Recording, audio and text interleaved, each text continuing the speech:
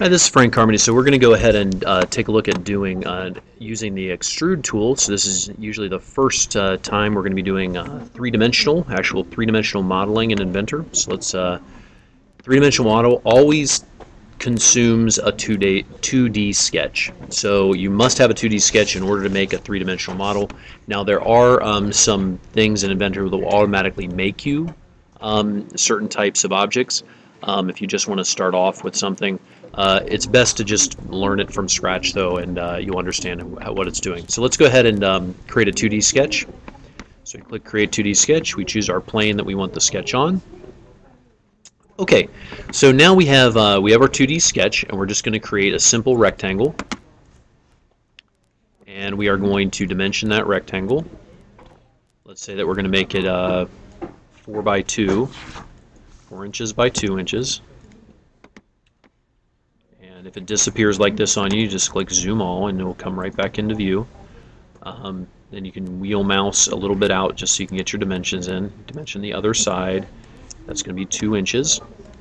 Okay, so we have our rectangle. Now, we have to get out of the sketch mode and back into 3 3D mode in order to extrude. So we're going to right click, click OK to exit the tool, right click, finish 2D sketch. I think we could have just clicked finish 2D sketch, but uh, we'll do that next time. Okay, so we have our sketch here. Notice on the notice on the um, right-hand side that we see our sketch in the um, uh, Explorer bar. Um, now notice the sketch is not consumed yet. Okay, so let's go ahead and we're going to extrude. So we click on extrude.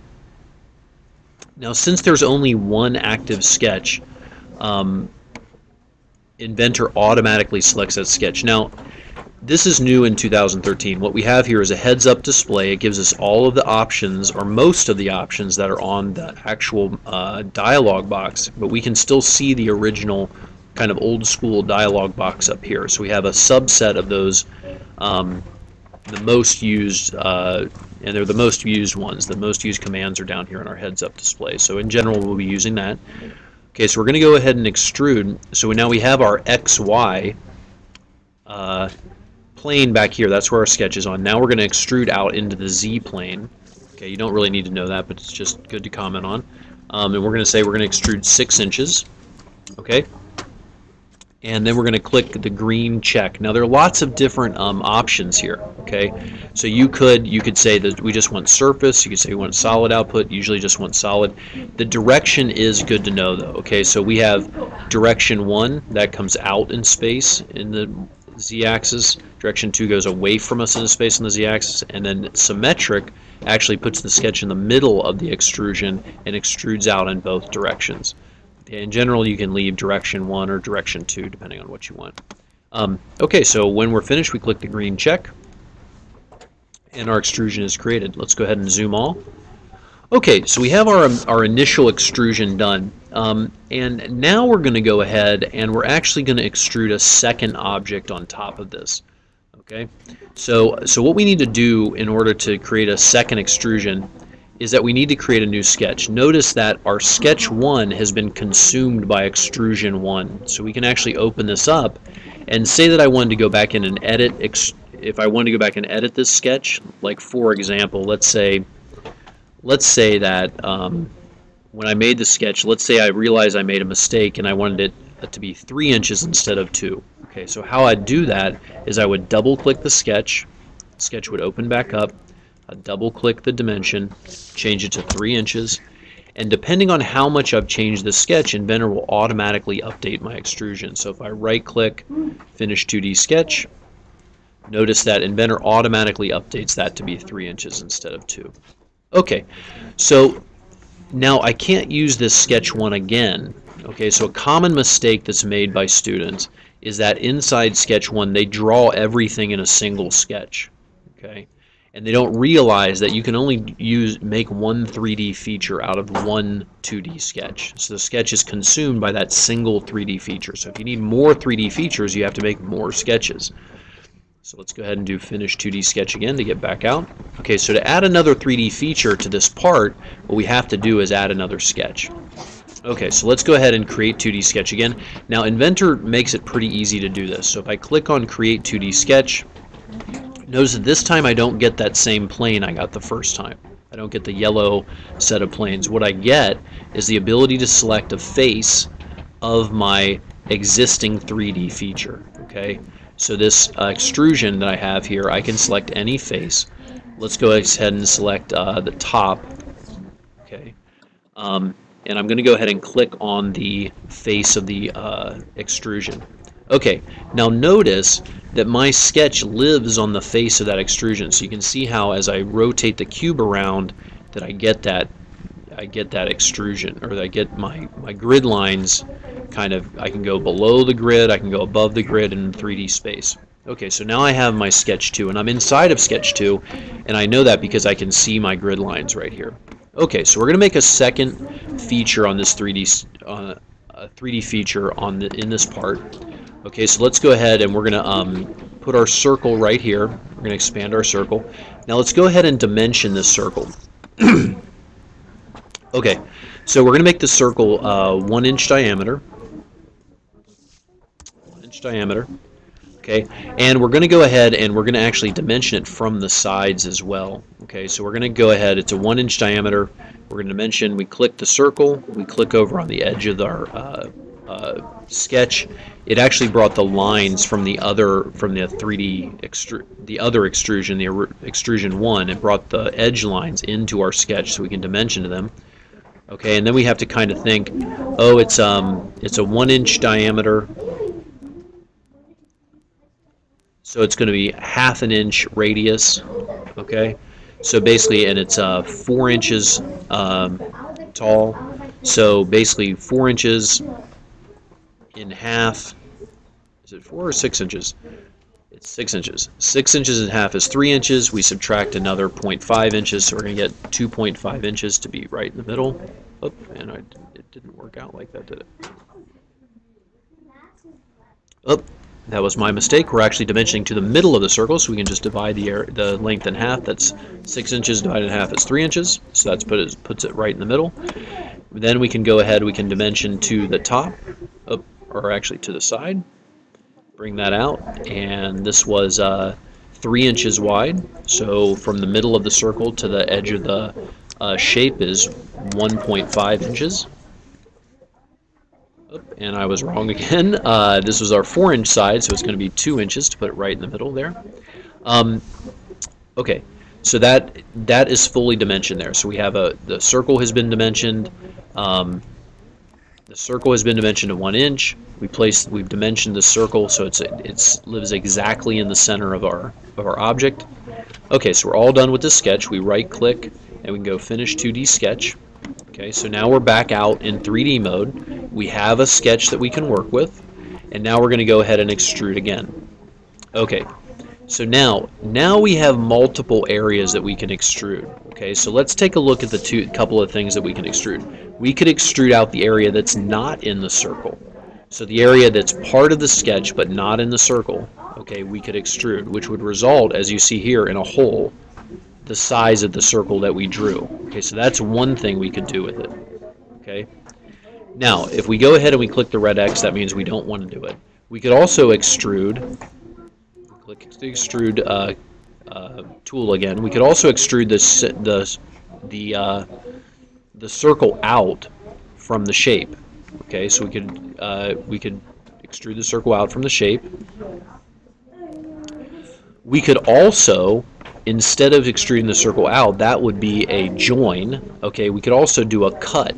Okay, and that automatically notice that it automatically changed the direction of the cut. Okay uh, because it knows we want to cut through the object. Okay, we could also cut a hole down through the object from that circle. Okay, um, we could also do an intersection. That means that we would cut away everything in the object that it's going through except what intersected with the circle. Okay, so there's lots of things that you can do with extrude uh, that you might not be uh, completely familiar with, or it might not immediately come to mind when you start doing this. Okay, so let's go ahead and we're going to do a join. We're going to do it in direction 1. That's out from the, the, um, the original object. And we're only going to do it 1 inch. Okay, we're going to click the check, and that's going to leave us with this shape. Okay, let's go ahead and do another extrusion here. Uh, this time, This time we're actually going to make a, a, hole through the object using extrude. So we're going to right click. You can actually right click on the face. This is the other way to do it. You right click and we can do new. Uh, oh, you can do it there. That's interesting. Uh, okay, so we could actually click on the, the plane first and then click create sketch. That gives us a sketch immediately because the plane's already selected. Uh, this time let's do a, a rectangle. Actually, let's do a complicated shape. Okay, so we're going to make a rectangle. Uh, we're going to dimension that rectangle. Actually, we're not going to dimension it yet. We're going to make a circle. Okay, we're going to um, go ahead and trim off some of the lines on the circle. Okay, to make kind of a complicated shape here. Uh, and your shape could be anything when you do this. Uh, I'm just this is just an example, so your shape could be different. Oops. Control Z if you accidentally trim off too much. Okay, so let's say that we make this kind of complicated shape. You'd want to dimension this. Okay, so we'd go ahead, um, oops. Okay, we actually want to dimension the radius of this. Okay, so let's say this radius is one inch. Okay, let's say that, oops. Okay, let's say that we're going to go ahead and dimension uh, the other radius to be the same at one inch. Okay, and then we're going to go ahead and dimension uh, this to be one inch. Dimension this side to be one inch. Notice that a lot of the work in this is dimensioning, right?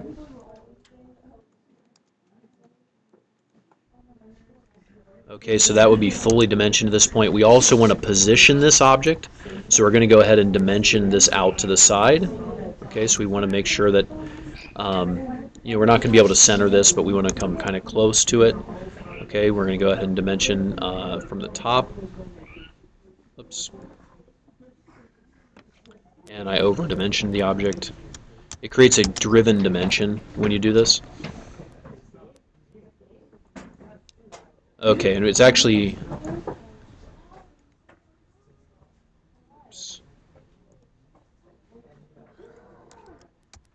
Okay, so we're going to dimension up to the top this time. Oops. Get back in the dimensioning tool. We're going to dimension it up to the top. make that one inch as well. Okay, so we've fully dimensioned, you know, we're just making the shape up, so in this case we're just kind of making up the dimensions, but now this is fully dimensioned, okay?